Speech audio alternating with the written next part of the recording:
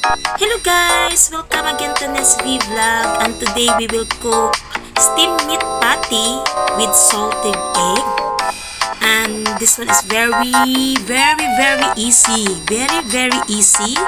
What you need to do is okay guys I will put the procedure and the ingredients below in our yeah, description box are the ingredients for this uh, recipe. We have 190 grams minced pork and one salted egg.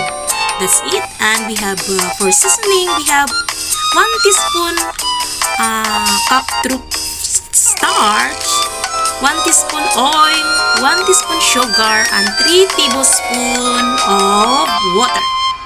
And for, for the method, it's very easy. Mix minced pork with seasoning and salted egg white and stir it one direction. Put them on a plate and place the egg yolk on the top. And then, bring the water to boil and steam over high heat for 15 minutes. This is yummy yummy. Try this guys. Easy easy uh, recipe and you can make it as in just 15 to 25 minutes including preparing this recipe.